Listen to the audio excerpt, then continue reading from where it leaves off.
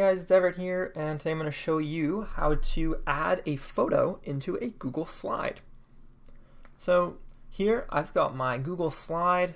Let's title my presentation first. Let's call it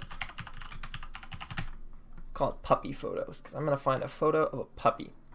So to insert a picture, go to Insert, click Image, and you can either upload from computer, search the web, get a photo from Drive, Google Photos, from a URL, or from your camera if your computer has a camera. So first, I'm going to add a photo from Google Drive. And I go to my Drive.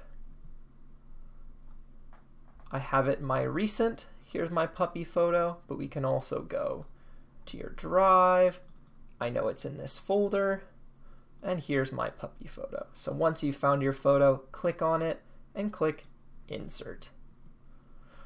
And we can resize our photo. Remember, always drag the corner when you're resizing a photo so you don't make it look all funny and squished like this.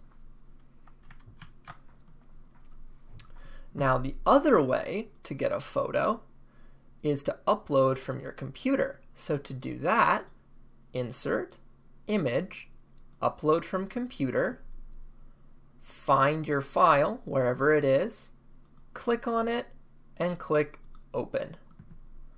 And yes, I know it's the same picture, but we did get it from two different places.